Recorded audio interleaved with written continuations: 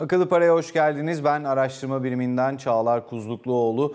15 Mayıs 2024 tarihindeyiz. ABD enflasyon verilerini bekliyoruz ama Türk tarihi açısından da Türk bağımsızlık mücadelesi adına önemli bir gün. Tabii ki Hasan Tahsin ve ilk kurşun geliyor akıllarımıza. Zaten 16 Mayıs ve 19 Mayıs önümüzde hepimizin belki de aklına hiç çıkmayan tarihler diyelim. Gidelim bakalım haritamıza her akıllı parada olduğu gibi nasıl bir görünüm var hisse senedi piyasalarında. Ana endekslerde Kakara'nın negatif ayrıştığını görüyorsunuz değerli izleyicilerimiz.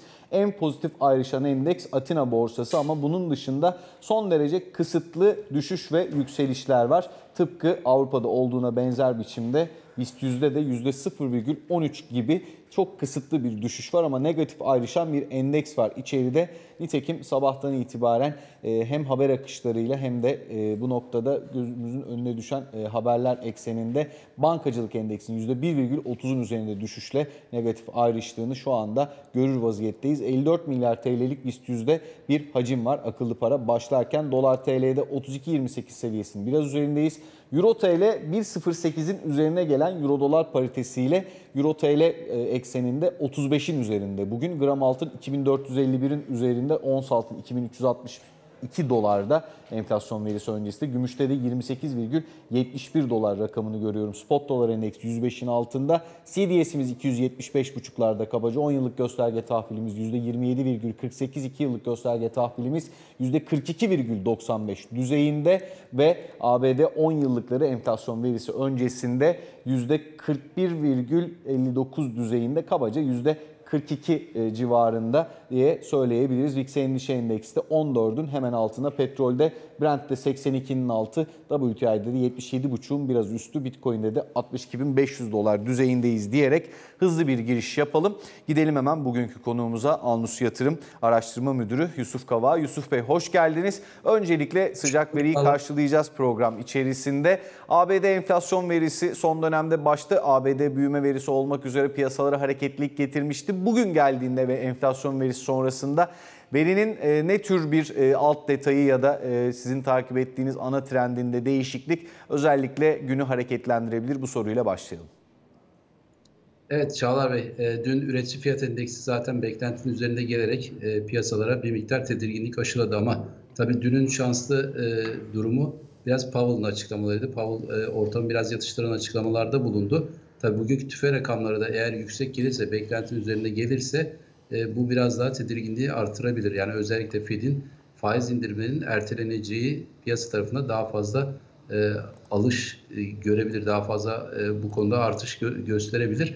Ama tabii ki bu verinin beklentinin altında gelmesi durumunda ise bu sefer de tam tersi bir fiyatlama da ortaya çıkabilir. Çünkü %0.4'lük bir e, aylık artış beklentisi var manşet tarafta. E, tabii PC dataları çok daha önemli olacak ay sonunda. E, FED daha çok bu tarafa baktığı için kişisel tüketim harcamaları endeksine bakacağız. Ama tabii ki tüfe tarafında özellikle işte manşet tarafta enerji fiyatlarının yükselmeye devam etmesi bekleniyor.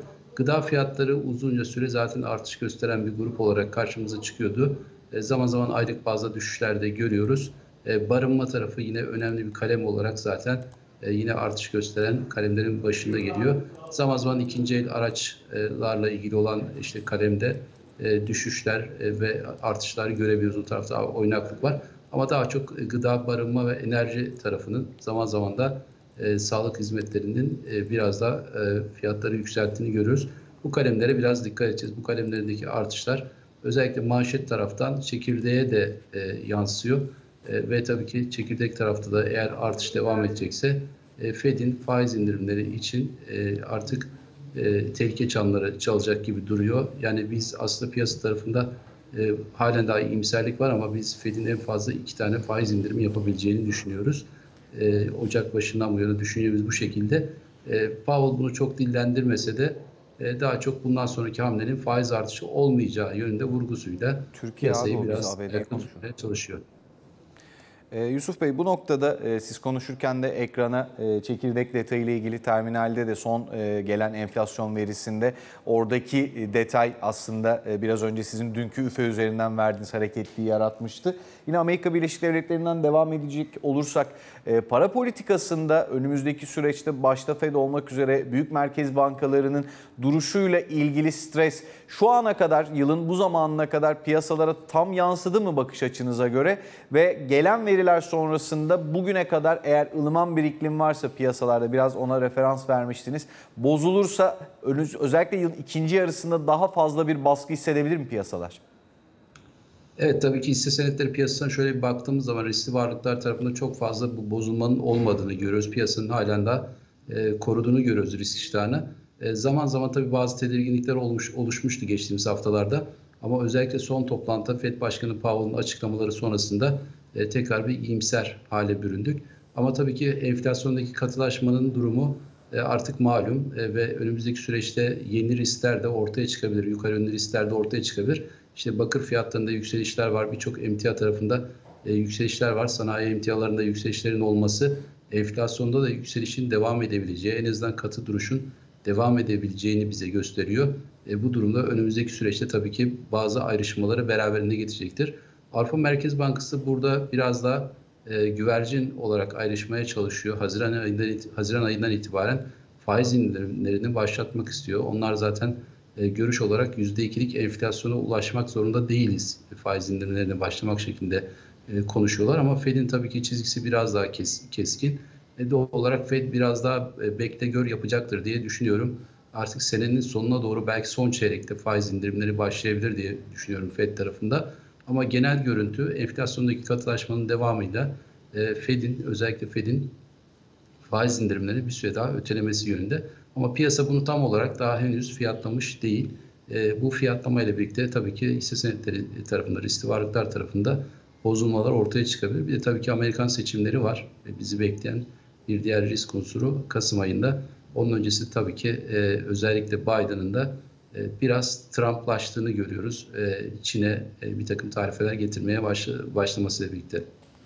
Peki biraz içeriye dönelim. Ee, bu noktada da Borsa İstanbul'da 10 bin üzeri kapanışlar ve 10 bin üzeri seyir izlenir vaziyette. Önemli ve dikkate alınması gereken bir süredir ama özellikle son süreçte gün içi değişimler ve hacmin e, bilhassa seyrine baktığımızda BIST 100 için konuşuyorum hacim tarafı ile ilgili en azından.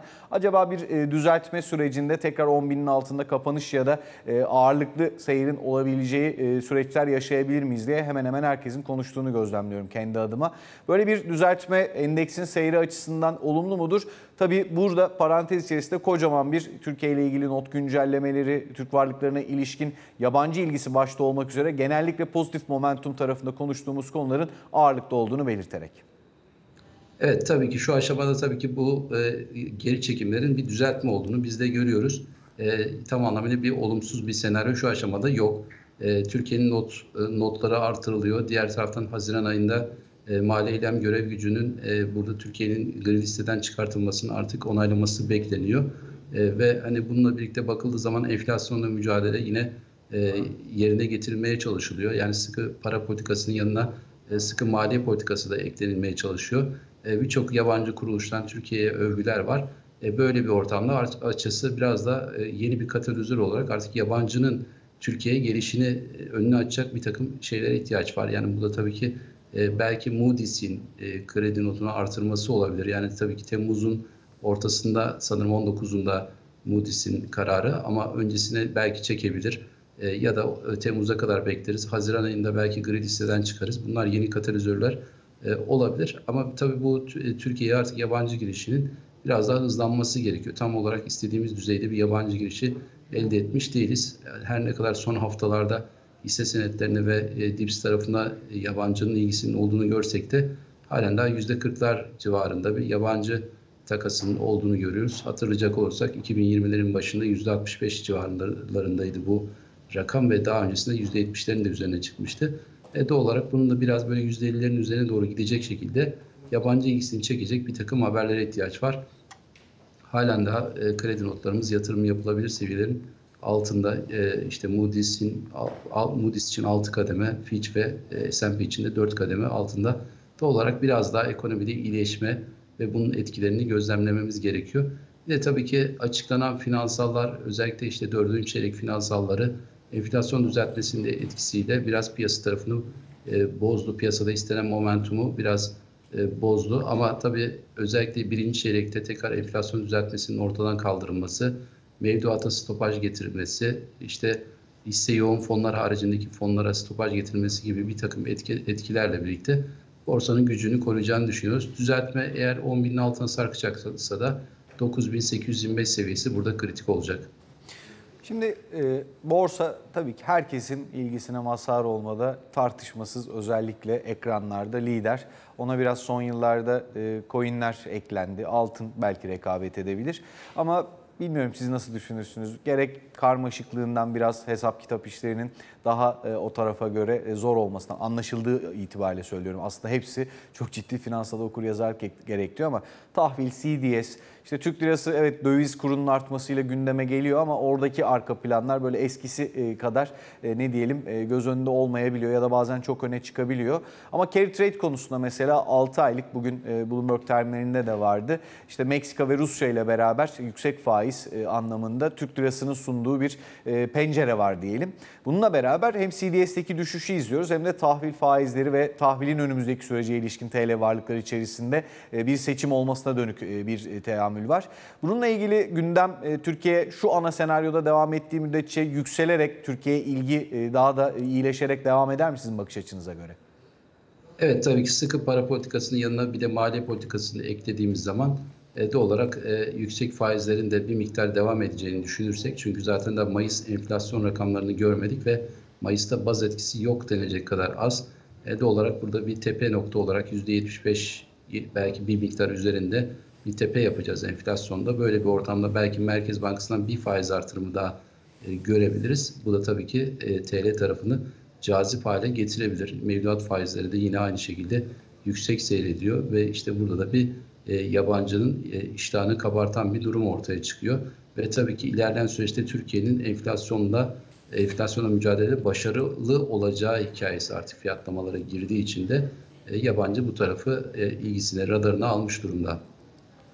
Ee, son 2-3 dakikamız e, bu noktada da hemen bir, bir iki cümlelik cümle rica edeyim sizden. Sonra hep birlikte ABD enflasyon rakamını karşılayacağız. Özellikle e, Mart sonundan itibaren son dönemde bütün programlarda soruyorum ben bu soruyu size de yönelteyim. E, dolara karşı gelişim ülke parimleri içerisinde TL'nin de yer aldığı önemli bir grup daha ne diyelim sağlam durabiliyor. Bu geçici midir kalıcı mıdır? Evet, bunun kalıcı olması için tabii ki bu daha yerine getirilmesi gereken şartlar var. Tabii bu sıkı para politikasının devam ettirilmesi ve enflasyona mücadelede başarıya ulaşılması gerekiyor. Evet, Temmuz-Ağustos aylarında baz etkisinden yararlanarak enflasyona ciddi düşüşler olacak. Ama sonrasında tabii ki enflasyonu biraz da kalıcı olarak düşürmeye ihtiyacımız var.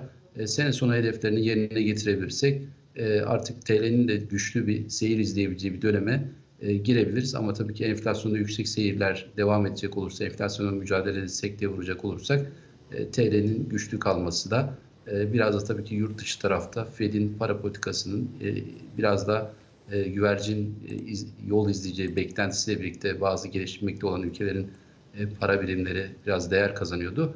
O tarafta da eğer bozulma olursa tabii bu da bir takım sıkıntıları beraberinde getirebilir. Evet, e, son 1-1,5 dakika Alnus Yatırım e, Araştırma Müdürü Yusuf Kavak'la sohbetimize devam edeceğiz. Ama stüdyomuzda e, Burcu Kıratlı var. Burcu'yla veriyi karşılıyor olacağız. Sonrasında ilk etap Burcu'yla biz gelen verinin detaylarına bakmaya çalışacağız. Ardından biraz önce söylediğim gibi Yusuf Bey ile sohbetimize devam edeceğiz. Şimdi Burcu Kıratlı ile olan kısma geçelim. Geleceğin yatırımlarına yön veren Akbank Yatırım Hizmetleri sunar.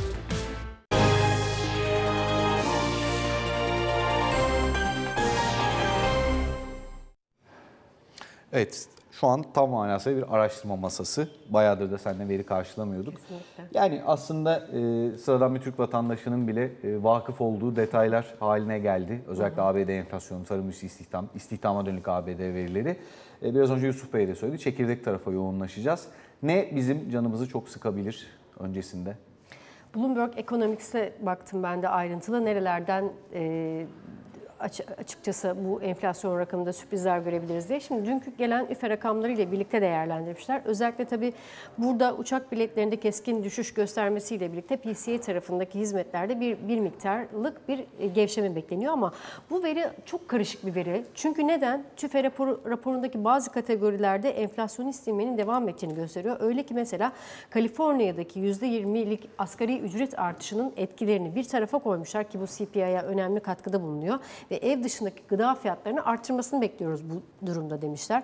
Bunun haricindeki mesela çekirdek enflasyonun binde 28'e yavaşlaması ve yıllık oranının işte %3.6'ya düşmesi bekleniyor demişler. Beklenti paraleli geldi Burcu. Sen cümleni tamamla. Ben Ee, bakmaya devam edeyim. Özellikle enerji ve gıda maliyetlerinin tüfe enflasyonuna 14 bas puan katkı sağladığını tahmin ediyoruz demişler. Benzin fiyatlarında artış var ama bunun düşük elektrik ve doğalgaz maliyetleriyle dengelendiğini düşünüyoruz demişler. Yani bir taraftaki artışın başka bir taraftaki birim maliyetle düştüğünü de e, gözlemliyorlar. İkinci el araba fiyatlarındaki yine binde beşlik düşüş sebep olduğunu söylemişler. Burada ikinci el araba fiyatlarının düşmesin yaz boyunca devam edeceğini ve bu taraftaki düşüşte destekleyeceğini yine de- demişler. Yine temel hizmet enflasyonu aslında burası Fed'in belki de en çok baktığı yer çağlar e, hizmet enflasyonu ve özellikle de kiralar tarafındaki birincil kiraların bir miktar artmasını bekliyoruz demişler. Bu, bu galiba kira enflasyonu herhalde enflasyon verisindeki en can sıkıcı ya da belki en düşmeyen kısım olarak e, gözlemliyoruz. Şu anda verinin kırılımlarına, detaylarına bakmıyoruz ama özellikle tabii ipotek maliyetlerinin artmış olması, Amerika'da ev satın almanın biraz daha yavaşlamış olması insanları kiralara yönlendiriyor ve bu taraf gerçekten güçlü seyrediyor.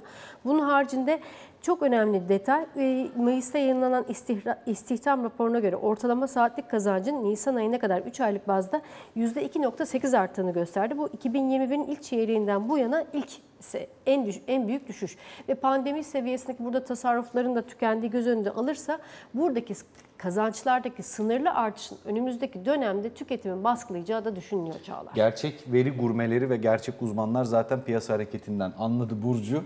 Aylık beklentinin çok kısıtlı da olsa altında 0,4'lük beklentinin e, %0,3 ile çok az altında yıllık beklentiye paralel. Çekirdek beklentiye paralel biraz önce zaten grafikle beraber Yusuf Bey ile biz de buna dikkat çekmiştik.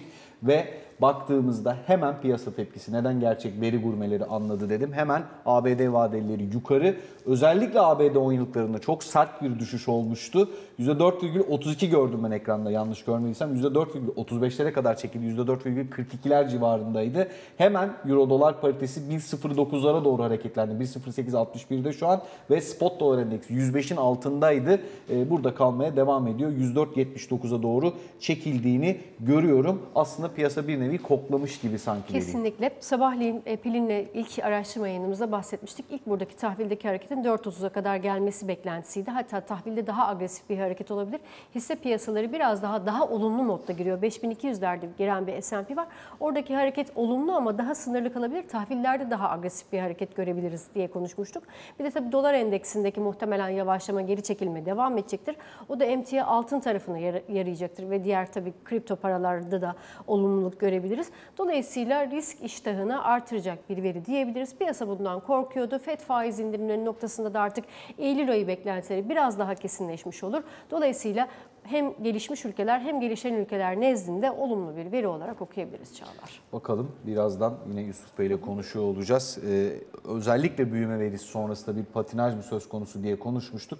Ama S&P vadeli kontratlarına da baktığında senin söylediğine paralel şu an, şu an en azından bir sükunet hakim oldu. Bakalım coşkuya dönüşecek mi? Teşekkür ediyoruz Burcu'ya da.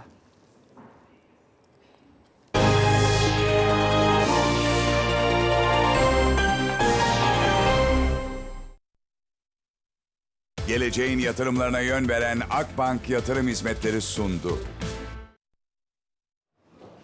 Burcu'yla hemen veriyi karşıladıktan sonra piyasa tepkisini konuştuk. Kaçıranlar olduysa eğer aylık %0,4'lük beklentinin altına %0,3'lük bir artış kaydetti ABD'de TÜFE.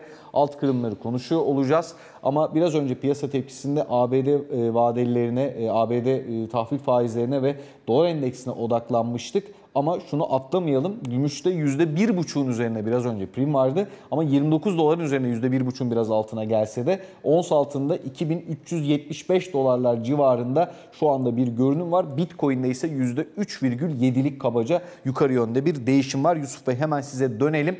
Ee, biraz önce konuştuk aslında detayları. Çok da o motifi bozucu bir veri gelmedi. Sizin e, dikkatinizi çeken bir nokta var mı? Evet ben de kısaca şöyle bir bakmaya çalıştım. Barınma tarafında yine artışlar devam ediyor. İkinci el araçlar e, tarafında e, bir sert düşüş var. E, bu biraz tabii e, oradaki yükselişleri, e, enflasyon tarafındaki yükselişleri sınırlandırmış. E, ve tabii ki maaşet tarafta beklentinin bir miktar altında gelmesi piyasaların korkularını en azından şimdilik yatıştırdı diyebiliriz. Ve piyasa tarafı da zaten e, olabildiğince iyimser kalmaya çalışıyor. E, açıkçası burada bütün iyimser sinyalleri alıp e, bunu fiyatlamaya çalışıyor ve bu da biraz iyimser gelmiş durumda. Piyasa tarafında pozitif fiyatlamalar da bundan kaynaklanıyor diye düşünüyorum. Ama tabii ki enflasyonda da bir katılık olduğu e, göze çarpıyor. Enflasyonda artık hani e, biraz daha inmesi için, enflasyon inmesi için o katılığın da aşılması gerekecek. Peki önümüzdeki süreçte biz sıkça küreselde ana merkez bankalarının hamlelerini konuşurken Japonya Merkez Bankası'nın çokça haber önümüze düşmesine rağmen İngiltere, Avrupa ve e, Amerika'ya oranla daha az konuşuyoruz ama Asya'dan bir e, hem para politikası hem de dünyayı etkileyecek bir e, sermaye piyasaları odaklı hareket bekler misiniz? Bunun içerisinde tabii Fed'i ve küresel sıkılaşma döngüsünü, küresel enflasyonuna katarak. Evet tabii dolar Japon yeni paritesini zaman zaman takip ediyoruz. O taraftaki e, yükselişler e, tedirginlik de oluşturuyor. Tabii bu biraz Japonya'nın uyguladığı politikalardan işte modern para politikası, para teorisinden e, kaynaklanıyor. Yani onlar işte bu e, yüksek borçlulukların e, işte e, ya da işte yüksek faiz ortalamanın etkilerini çok fazla dikkate almıyorlar. Yüksek enflasyonun bir faizle e, sınırlandırması gerektiğini e, ne yönelik e, iktisadi teorileri dışlıyorlar. Böyle bir teoriyle karşı karşıya kaldıkları için de e, doğal olarak biraz da orada hem enflasyonun yükselmesi hem borçların e, yükselmesi ve bunun kur üzerindeki baskısını da hissediyorlar. Ama bu kurdaki yükselişler devam edecek olursa e, tabii ki e, bir sabah kalktığımızda da bunun siyah kuğu etkisini de piyasalarda görebiliriz diye düşünüyorum. O yüzden e, zaman zaman bu dolar Japon yeni paritesini izlemekte fayda var. E, tabii Japonya Merkez Bankası bununla ilgili bir önlem alacak mı? Zaman zaman işte kura müdahaleler tartışma konusu oluyor ama biraz da sanki böyle tahvil tarafına e, işte müdahale etmeleri gerekebilir. Oradaki işte tahvil bandını biraz daha gevşetmeleri, e, kur tarafını yatıştıracak bir takım hamleler yapmaları da gerekebilir. Ve tabii ki enflasyonla mücadele içinde e, biraz da para politikası yoluyla ortodoks tarafa dönmeleri daha sağlıklı olacaktır diye düşünüyorum. Son bir soru e, sizi bırakmadan. E, şu andaki e, bu arada grafik kullanabilir izleyicimizden rica edeyim.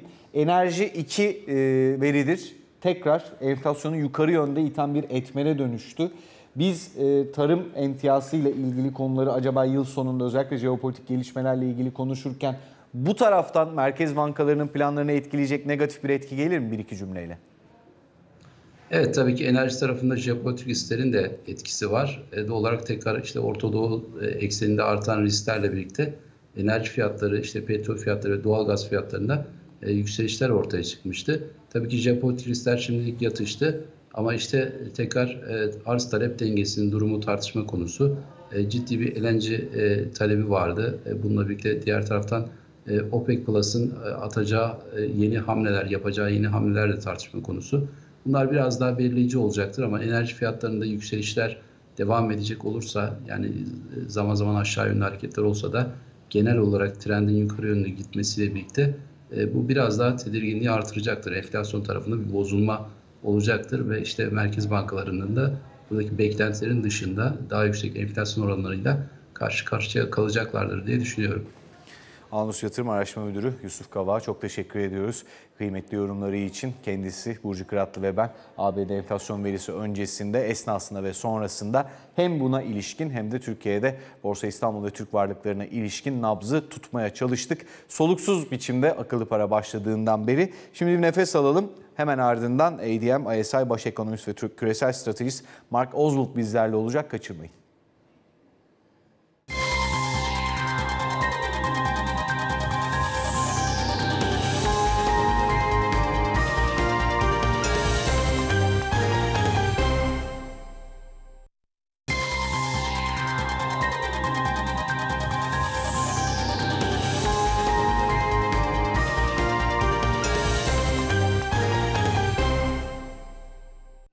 Akıllı para kısa bir aranın ardından tüm hızıyla devam ediyor. Az önce ABD enflasyon verilerini karşıladık.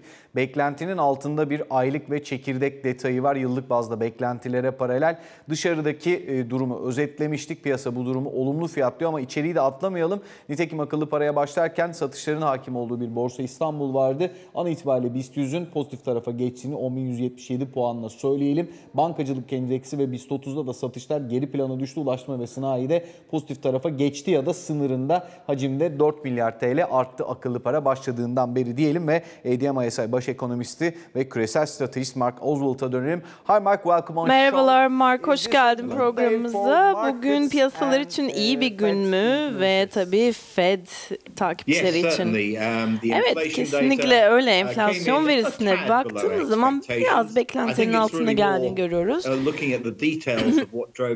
Ki burada aslında uh, enflasyon neler yükselttiğini ya da uh, nelerin particularly some easing yavaşlattığını in detaylarına baktığımız zaman konut tarafındaki baskının biraz azaldığını görüyoruz. Yine sağlık sektörü yine hala yüksek bir seviye olmakla beraber biraz oradaki baskının 1.4, azaldığını görüyoruz.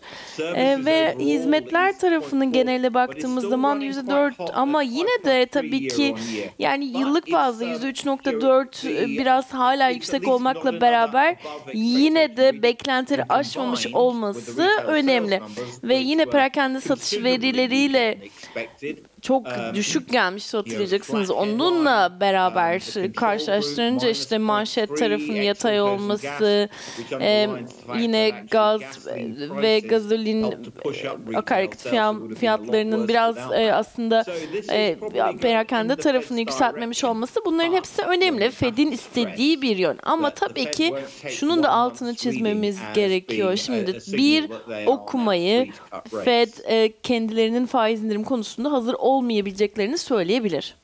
Mark, should we, Mark uh, peki sence enerji fiyatlarına bakmamız uh, gerekir mi dünyada? Özellikle de merkez bankalarının ajandasında örneğin e, gelecek 6 ayda sence yer alacak mı? Evet hala orada enerji tarafında enflasyonist baskılar var ama bence um, that seyahatin yani özellikle de ikinci çeyreğin sonuna baktığımız zaman insanlar yeni bir Uh, faiz artışı olabileceğinden endişe ediyorlardı. Bence artık bunu tamamen masadan kaldırabiliriz. ve burada soru kimin ilk faiz indirimine başlayacağı olacak? ama işte not özellikle enflasyon tarafında yani gıda Um, tarafında da geri çekilmeler olduğunu görüyoruz. Ama burada Um, tabii ki bir okuma gerekir bu tablonun tersine dönmesi için. Ama en azından bu yılın iyi verilerinden biri olarak karşımıza çıkıyor.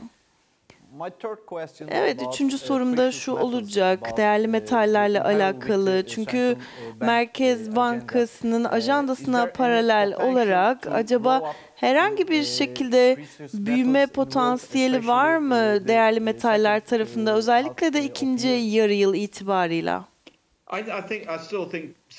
Bence merkez bankaları yine orada altınlı çeşitlendirmeye gidecek gibi duruyor. Burada hiçbir şekilde bir soru işareti yok. Platinyum, uh, paladyum bunlar elektrikli araç üretimi konusunda e, çok fazla ihtiyaç duyulmuyor. Dolayısıyla burada biraz daha çeşitlendirme bir ayrışma olabilir. um, Bunları görebiliriz. Um, Ve doların aynı şekilde böyle bir precious tepki vermesiyle beraber belki de değerli metallere gitmesi çok önemli, particularly, çok fazla uh, görülmez ama genel olarak emtia uh, to a piyasalarına bir giriş olabilir. know, Metaller olabilir ya da işte sanayi e, ile alakalı Um, metaller uh, olabilir uh, ve enerji fiyatlarını da etkileyebilir. Mark, th- thank for joining us. Mark çok teşekkürler bize katıldığın için ben teşekkür ederim. Evet, ABD enflasyon verisi sonrasında kısa vadeli değerlendirmeyi İstanbul'da stüdyolarımızda ve konuklarımızla yaptık. Biraz daha uzun vadeli e, beklentileri ve enflasyon verisinin detaylarını da ADM, ISI baş ekonomist ve küresel stratejist Mark Oswald'la gerçekleştirdik. Biterken de Goldman'ın yıl sonuna ilişkin S&P 500'de ilgili beklentisine yer vereceğiz. Akıllı parada daha sonra da Açıl Sezen Finans Merkezi'nde sizlerle olacak. Yarın tekrar görüşmek ümidiyle, hoşçakalın. Goldman Sachs, Amerika Birleşik Devletleri hisse baş stratejisti David Kostin, Bloomberg televizyonuna verdiği röportajda S&P 500 için hedef fiyatının 5200 puan seviyesinde olduğunu yineledi ve bugünden yıl sonuna kadar yaklaşık yatay bir getiri öngördüğünü söyledi. Costin, bankanın ekonomi, bilançolar, değerlemeler ve nakit akışını dikkate alan modelinin daha fazla yükseliş için yer olmadığını gösterdiğini söyledi. Goldman ekonomistleri bu yıl Amerika Birleşik Devletleri ekonomik büyümesini %3 civarı öngörüyor. Bankanın hisse stratejistleri ise 2024'te şirket karlılığı büyümesini %8 olarak bekliyor. Stratejistlere göre şirket değerlemeleri hala hazırda tarihi zirvede. Costin tüm bu kategorilerde daha fazla büyümenin ihtimal dahilinde olduğunu söylese de bu ihtimali düşük görüyor.